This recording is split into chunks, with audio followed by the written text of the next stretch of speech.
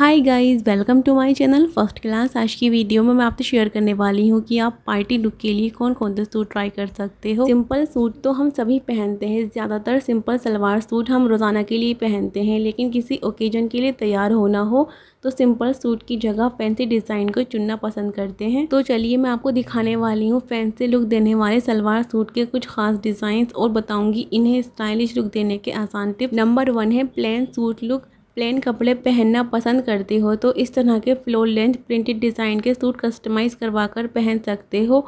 इस खूबसूरत सूट को आप ज़रूर ट्राई करें। इस तरह के सूट आपको फैब्रिक ख़रीद कर ख़ुद से सिलवाने पड़ेंगे, ताकि आपको मनचाहे फिटिंग मिल पाए। इस तरह के लुक के साथ आप सिल्वर ज्वेलरी को स्टाइल करें। नेक्स्ट है फ्रॉक स्टाइल सूट एक टाइम पहले थ्री स्टाइल सूट को काफ़ी पसंद किया जाने लगा था।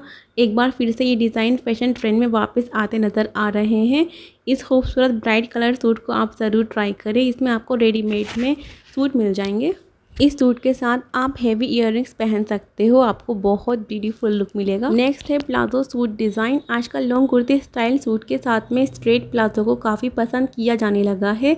इस खूबसूरत सूट को आप ज़रूर ट्राई करें। इस तरह के सूट आपको मार्केट में आसानी से मिल जाएँगे। इस तरह के सूट के साथ में आप कानों में हेवी इयर को स्टाइल करें। आई होप ये वीडियो आपके लिए हेल्पफुल होगी। फ्रेंड्स वीडियो अच्छी लगी हो तो वीडियो को लाइक कीजिए और अपने फ्रेंड्स और फैमिली के साथ शेयर कीजिए। आप चैनल पर नए हो तो चैनल को सब्सक्राइब कीजिए और साथ ही क्लिक करें बेल आइकन पर ताकि मेरी आने वाली वीडियो की नोटिफिकेशन आपको मिलती रहे। थैंक यू गाइज़ मिलते हैं नेक्स्ट वीडियो में।